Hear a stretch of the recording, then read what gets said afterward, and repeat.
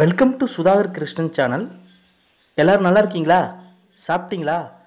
சரி வாங்க வீடியோக்குள்ளே போகலாம் தோட்டத்தில் ஜாதி மல்லி பூச்செடி தாறுமாறாக பூக்கள் பூப்பதற்கு என்ன இயற்கை கரைசல் கொடுக்கலாம் என்று விரிவாக இந்த வீடியோவில் பார்ப்போம்.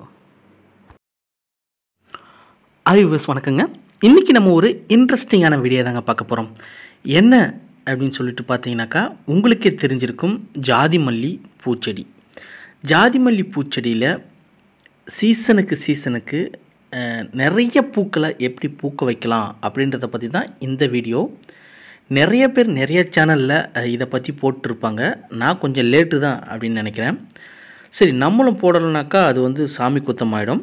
அதனால் நம்மளும் நம்ம சேனலில் இதை பற்றி கொஞ்சம் அலசலாம். நிறைய பேர் அலசிட்டு இருப்பாங்க. இருந்தாலும் ஓரலாக அலசிட்டு முக்கியமாக இதுக்கு ஒரு இயற்கை கரைசல். அதாவது செலவே இல்லாமல் ஒரு கரைசல் ஒன்று ரெடி பண்ணி இதுக்கு ஊற்றணும் அப்படின்னாக்கா தாறுமாறான பூக்களை வந்து நம்ம பெறலாம். அது என்ன அப்படின்றத பற்றி பின்னாடி சொல்கிறேன் அதுக்கு முன்னாடி இதை பற்றி ஓரலாக அலசலாம். ஜாதி மல்லி பூச்செடி அப்படின்றது வந்து ஜூலையிலிருந்து நவம்பர் வரைக்கும் நல்ல தாறுமாறாக பூக்கக்கூடிய ஒரு பூச்செடி. இந்த சீசன் இப்போ வந்து பூத்துட்டு இருக்கக்கூடியது முக்கியமாக இதுக்கு வந்து டிசம்பர் மாதம் கவாத்து பண்ணணும். அதாவது பூத்து முடித்த உடனே எந்த ஒரு செடியும் அது ஈல்டு கொடுத்ததுக்கப்புறம் நம்ம கவாத்து பண்ணிவிட்டு கொஞ்சம் பஞ்சகவியம் மீன் அமினோ அமிலம் வேர்ப்பகுதியில் ஊற்றி விட்டோம் அப்படின்னாக்கா திருப்பி வந்து அது நல்லா துளிர்த்து வந்து திருப்பி அடுத்த அறுவடைக்கு வந்து ரெடி ஆகிடும் அடுத்த சீசனுக்கு சரி இதுக்கு மண்கலவை அப்படின்னு சொல்லிட்டு பார்த்தீங்கன்னாக்கா செம்மண்ணில் நல்லா வளரும். செம்மண் ரெண்டு பங்கு ஒரு பங்கு தொழு உரம் ஒரு க கைப்பிடி வேப்ப முன்னாக்கு ஒரு பங்கு மணல். காய்ந்த இ- இலை மக்கு உரம் அது ஒரு பங்கு. இதெல்லாம் எடுத்துக்கிட்டு உயிர் உரங்கள் எல்லாமே வந்து ஒரு ஒரு ஸ்பூன் சேர்த்துக்கிட்டு நம்ம வந்து மண்கலவை ரெடி பண்ணி இதை வந்து நட ஆரம்பிக்கலாம்.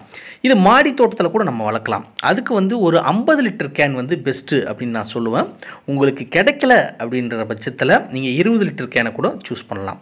இது மாடி தோட்டத்தில் நம்ம வந்து கவாத்து பண்ணி பண்ணி இது ஒரு கொடி வகை நம்ம செடி மாதிரியே வந்து வளர்க்க ஆரம்பிக்கலாம். இல்லை சின்னதாக ஒரு பந்தல் மாதிரி நீங்கள் அந்த சோறு இருக்குது பார்த்தீங்களா அதுக்கு பக்கத்தில் கூட வச்சீங்க அப்படின்னாக்கா உங்களுக்கு நிறைய பூக்கள் வந்து பூக்கும். அடுத்தது இதுக்கு வந்து நம்ம மூணு மாதத்துக்கு ஒரு முறை வேப்பம் புண்ணாக்கு ஒரு நூறு கிராம் அஹ், வேர்ப்பகுதியில் வச்சு விட்டோம் அப்படின்னாக்கா இதில் வர மொட்டு புழுக்கள் அப்படின்னு சொல்லிட்டு ஒன்று வரும். மொட்டை சேதப்படுத்துகிற புழுக்கள். அந்த கசப்பு தன்மைக்கு அது வந்து வராது. அடுத்தது கடலை புண்ணாக்கும் வேப்பம் புண்ணாக்கும் கலந்த கரைசலை வந்து மூணு மாதத்துக்கு ஒரு முறை இந்த பூக்கிற சீசனில் நீங்கள் ஊற்றுனீங்க அப்படின்னாக்கா பூக்கள் வந்து உங்களுக்கு நிறைய பூக்கள் வந்து பூக்கும். இதையெல்லாம் என்னால் செய்ய முடியாது. ஆனால் நிறைய பூக்கள் வந்து பூக்கணும் அப்படின்னு சொல்லிட்டு கேட்குற ஆளுங்களும் இருக்காங்க.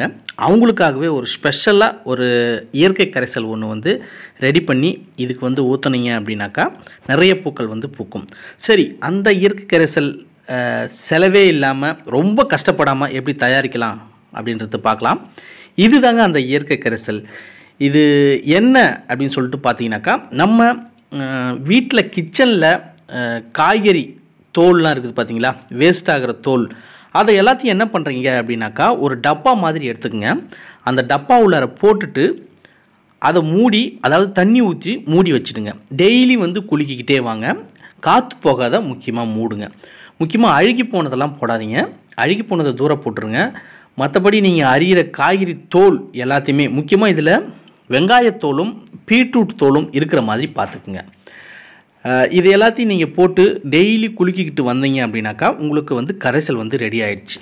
இதில் முக்கியமாக வெங்காயத்தோல் எதுக்கு போட சொல்கிறேன் அப்படின்னு சொல்லிட்டு கேட்டிங்கனாக்கா அந்த வெங்காய தோலில் வந்து கால்சியம் சத்து இருக்குது பொட்டாசியம் சத்து இருக்குது அப்புறம் மக்னீசியம் சத்து இருக்குது இரும்பு சத்து இருக்குது கால்சியம் என்ன பண்ணும் அப்படின்னாக்கா மொட்டுக்கள் வந்து உதிராமல் நிறைய மொட்டுக்களுக்கு வர வைக்கிறதுக்கு யூஸ் ஆகுது.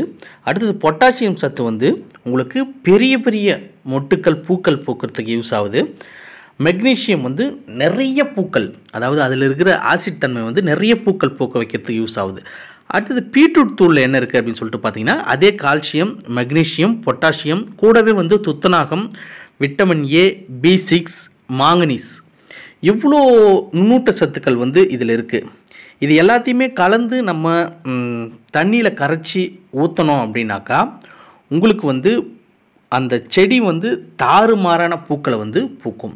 சரி இது எப்படி தயாரிக்கலான்றதை பார்த்துடலாம். நான் இதை மாதிரி குலுக்கிக்கிட்டு வந்துட்டு ஒரு ஒரு வாரம் போதும். ஒரு வாரம் சேர்ந்ததை அப்படியே எடுத்துகிட்டு நீங்கள் அதை வடிகட்டிக்கிங்க. இந்த மாதிரி ஒரு ஏதாவது பை இருந்தது இல்லை வடிகட்டி இருந்தால் கூட நீங்கள் வந்து நல்லா வடிகட்டி அந்த மிச்சம் இருக்கிற இருக்குது பார்த்தீங்களா அந்த கழிவுகளை வந்து தூக்கி போட்டுருங்க.